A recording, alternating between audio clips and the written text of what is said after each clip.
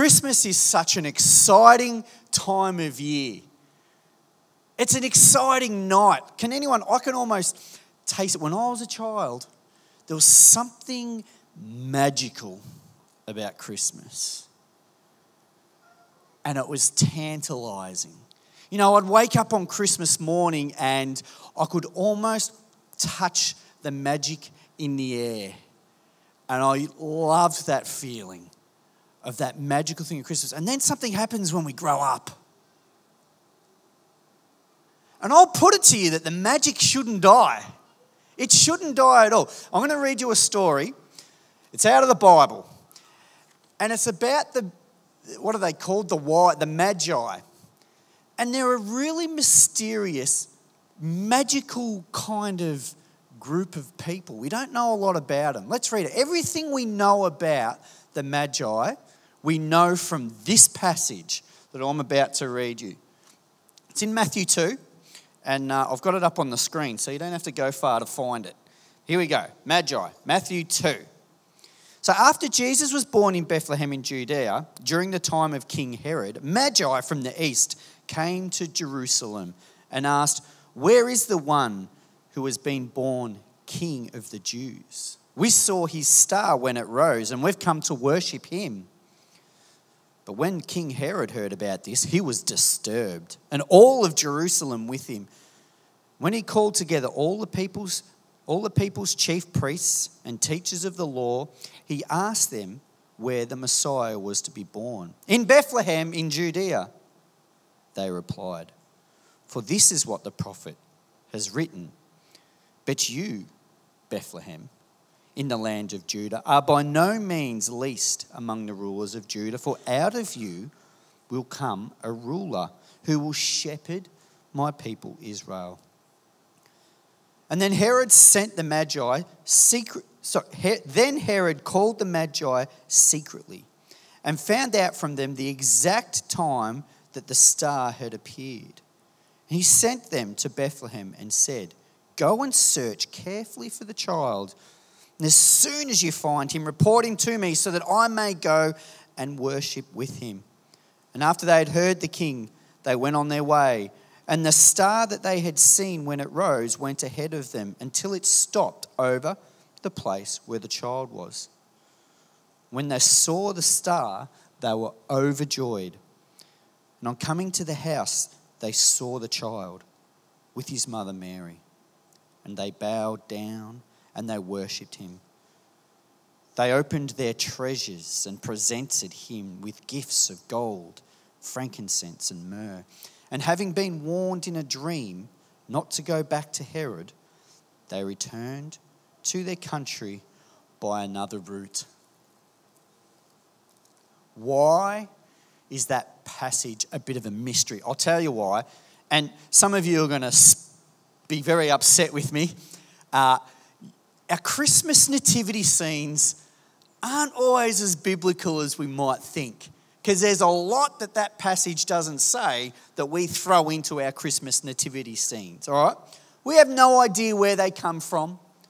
We have no idea where they went when they left. All we know that Jerusalem was not Jerusalem, Bethlehem was their destination. The child to be born the king of the Jews was their reason. That's all we know. Who were they? Were they kings? Doesn't say that, says they're magi. Well, then what the heck is magi? Well, who knows? That's a really interesting word. Apparently, the word magi can mean dream interpreters. Magi can be magicians. Magi were known to be spiritualists. Magi were not kings, as far as we know. Were they Jews that didn't return from Babylon when that was hundreds of years earlier when Babylon? We don't know. Some people wonder that. How many magi were there? One, three. We don't know. It actually doesn't say. Were they men? We don't know. We don't know. That could have been anything. Could have been a, a whole troop of families. We have no idea who these magi were, how many they were, all of those things. But we do know some things that this scripture tells us. We know they didn't go to a manger to see Jesus, they went to a house. Well, that's different to the nativity scenes that we set up, isn't it? And we know that he didn't, they didn't come and bow down and give gifts to a baby. They came and bowed down and gave gifts to a child, a toddler, or an infant. It's a very different word in the original language about what describes Jesus had grown a bit. And it's fair to assume that the Magi came sometime after Jesus' birth because Herod, if you read the end of the story, he didn't really want to go and worship Jesus. He wanted to kill any threat to his throne as the king of the Jews. And so he went and killed every child in Bethlehem under the age of two. So there's some things here that the Bible throws up at us that really challenge our thinking about what was happening at the nativity scene. Because I'll put it to you that Christmas culture speaks very, very loudly into our understanding and expectation of what we're to get out of Christmas. So much so that three wise kings went to Jesus and knelt down at the manger with the shepherds and the angels is in our head, yet it is not in our Bible. Christmas culture will speak and lead us in many different directions. There's a lot of unresolvable mystery about these magi who, what, where, why, how, all of those kind of things. But we know for sure about their intent. Their intent was to find this child who was born King of the Jews. The Magi came to honor this child.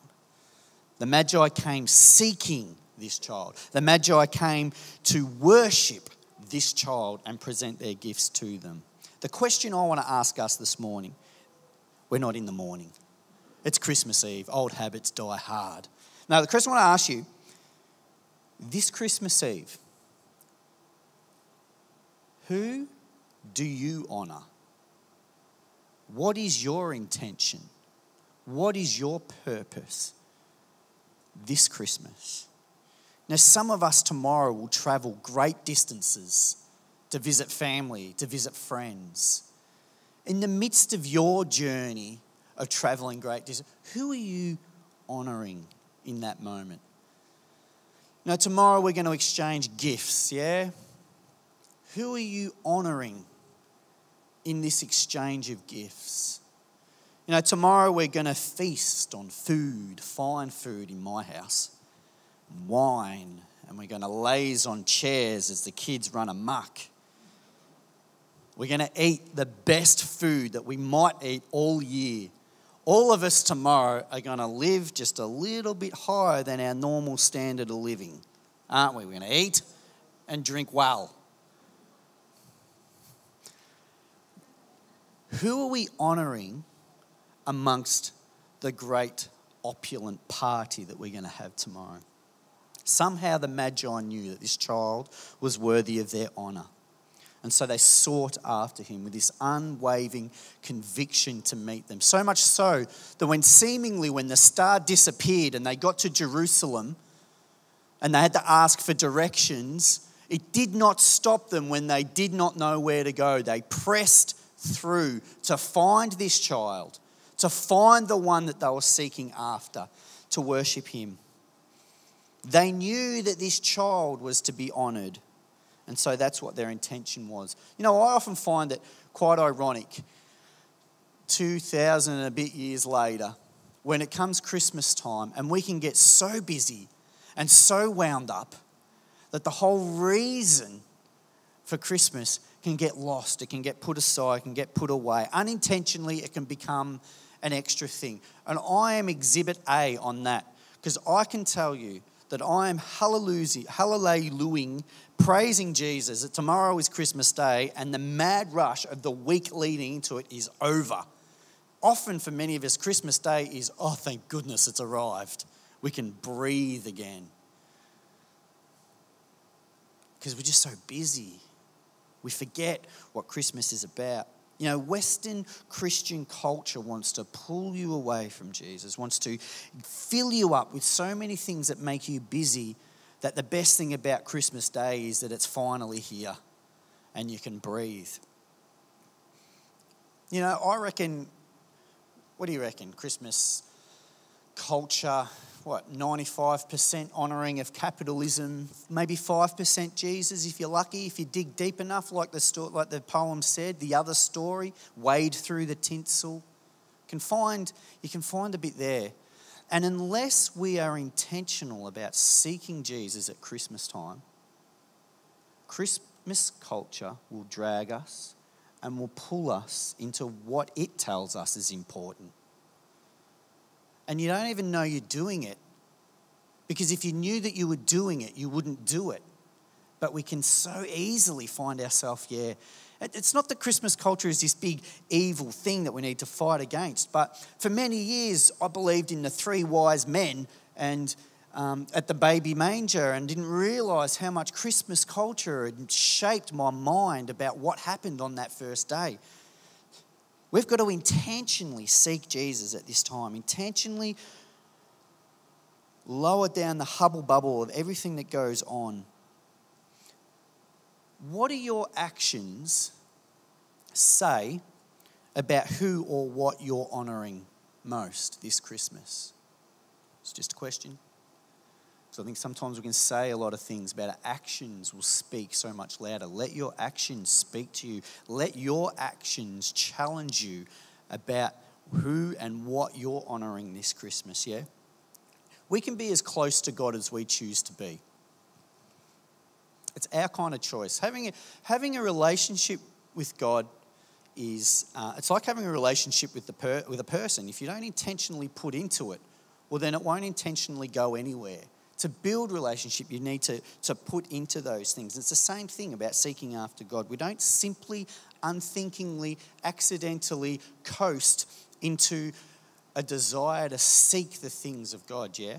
And sometimes, unless we're intentional, not sometimes, unless we're intentional about doing that, we're not going to accidentally fall into it. Now, the Bible tells us, encourages us to set our mind and heart to seek the Lord. You know, Paul wrote this thing in the Psalms. He said, uh, David it was, not Paul, wrong dude. You know, I'm speaking to a morning service out of the wrong end of the Bible. But anyway, David goes, The thing I seek most of all is the privilege of meditating in your temple, God, living in your presence every day of my life, delighting in his incomparable perfections and joy. You know, he didn't even have a Jesus to meet with, to seek and he has this tangible desire to be with God, to spend time with Him. Who are you honoring on this day? You know, the more you seek Jesus, the more you begin to discover the difference between a Christmas culture and a Christian culture. Because the more I discover Jesus, the more I realize they're actually very, very different. The more I seek and follow Jesus, the more I realize that Western, Western culture isn't Christian culture. It seems obvious on the outset. But unless we're intentional about it, we, we live it, we do it. So the three, three. See how natural that is? The Magi, however many of them there were, they find Jesus. They intentionally seek him out and then they worship him. They bring him gifts and they worship him. And it's a true, pure kind of worship because they're not going to get anything back from this little child. They're not going to get anything even back from the family. They're a family of very ordinary financial means. They just worshipped him because of who he was, because of who he is, not because of anything that they can get back from him. You know, a lot of, I've seen many Christians, and you, you'll have friends that have done this as well, who have gone through certain times in their lives and they, they and it's not going as things plan, and all of a sudden they're like, but I've done this for you, God, and I've worshipped you, and I've served you, and I've believed in you. And it, under all of that, there's this underbelly of belief that because that they've done this and behaved in that way, that God would then give them something back. The Magi come to worship Jesus. There's nothing to get back. There's nothing. It's purely an, a pure worship of because of who you are. They worshipped him. You know, if any of us here have, even if we maybe kind of think Jesus was the Son of God, even if we believe it with all of our heart, or even if we just, okay, maybe, and it's something, all of those things, if He is the Son of God, then He is worthy of our honor, He is worthy of our worship, and He is worthy of us seeking with everything we have, yeah? They worshipped Him. Who are you honoring? What are we really worshipping this Christmas? It's just I don't mean it sounds heavy and everyone's very deathly silent, but I don't mean it to be like that. Don't be lured into a false sense of security. Oh, because we're in church. You know what? Um, because it's not physically where we are. Tomorrow morning, some people will come to church as well, and I'll be one of those, and that's brilliant. It's about our heart posture. God really knows where the posture of our heart is. You know, one thing in this story that really pricked my interest is that through this whole thing, where are the chief priests and the teachers of the Old Testament that told them where to find Jesus while this was going on, the Messiah? Where are they? They're in a church, they're at the temple. They're in Jerusalem, six miles away, only six miles away. And these guys, they knew, it talked in the Bible, just and we just read it, when Herod and all of Jerusalem was disturbed at the news that maybe the Messiah had been born. Like there were rumors going around.